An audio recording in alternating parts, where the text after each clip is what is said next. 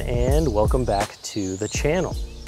So I'm supposed to be telling you right now about how I am officially kicking off the summer birding series with this video, but instead I want to tell you about what just happened. So I was on the way from my car to this boardwalk to film this clip when I see a yellow-billed cuckoo fly by.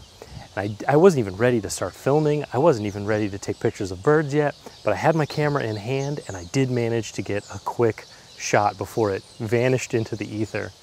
And let me just say, if that is the kind of good luck I'm gonna have when kicking off this series, before even starting to film this series, I'm feeling pretty good things about the summer birding series. So anyways, speaking of which, what is the point of this summer birding series? So unlike the migration series where we sort of, it's really windy, it's just really windy. One would say maybe that uh, recording this clip has been uh, a breeze, getting a little winded from all of the takes I've had to do of this clip. I hope I don't blow it. Okay, so anyways, unlike the migration series, I wanna spend a little less time trying to capture as many migrating birds as possible and a little more time just going with the summer vibes. I say we just go out, do some birding, see what we see, and maybe I can teach you a little bit about birds and bird photography along the way. And uh, we'll probably run the series from now until somewhere in August. That was that too much? That was probably too much. All right, well, let's just go do some birding.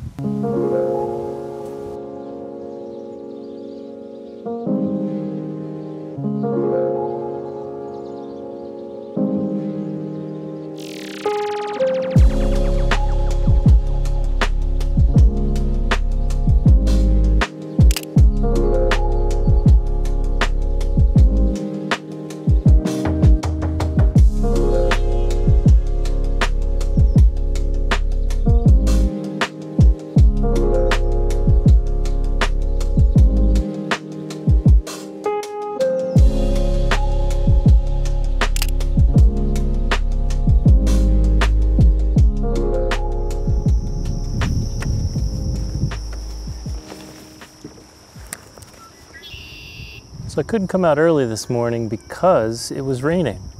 But it's nice and overcast, and honestly, I don't mind coming out on days like this because it's nice and breezy, and there's this nice, even, diffused light that uh, sort of makes for some pretty nice photos. Like normally midday, the light's pretty harsh and you can get some really uh, contrasty shadows on the birds' faces, and uh, you just don't get that with the with the overcast. Uh, it's uh, it's not too bad. It's like uh, overcast but bright, and there's this nice, soft, diffused light all over the marsh. So, not complaining.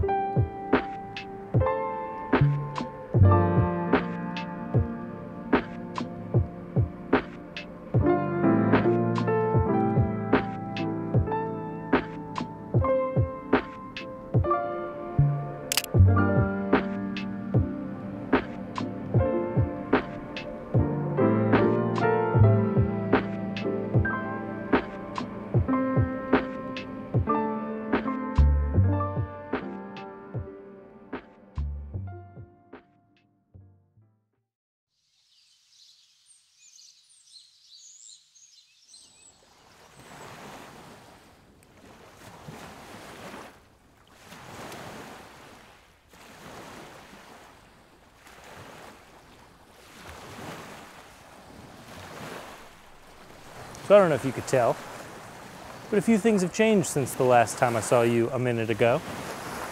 The first one is my location. It's actually a week later, and I'm out camping with my family and having a really great time. Second thing that's different is the light. And when I was thinking about what this video's theme might be, it dawned on me the light this weekend is completely different than last week at the boardwalk. Today, it is cloudless and sunny and beautiful and very different. And my strategy for birding today was very different. So I thought maybe we could talk about that. But first, let's talk a little bit about bird behavior. Birds are the most active in the hour and a half after sunrise and in the hour and a half before sunset. So if you want to play the odds and maximize your chances of seeing birds on any given day, go out at those two times and you'll have your best chance of seeing a bird. You will also get the added benefit of some delicious golden light if you do. So on a day like this, it's a no-brainer that you'd want to target the early morning or the late evening. So this morning I got up right after sunrise and I started looking for a habitat where I knew it was likely that I'd see birds and I factored in where the light would be and kind of camped out and I just hoped that something would show up.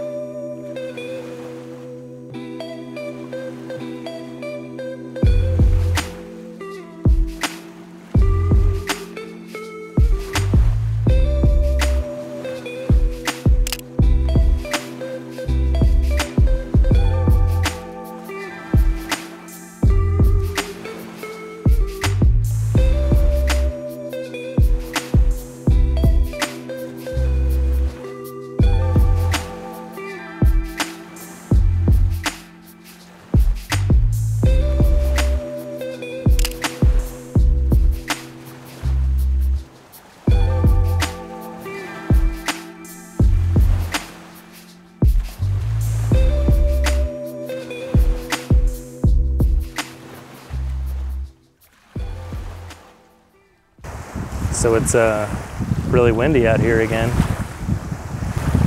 I'm, uh, I'm having a blast though. Too much?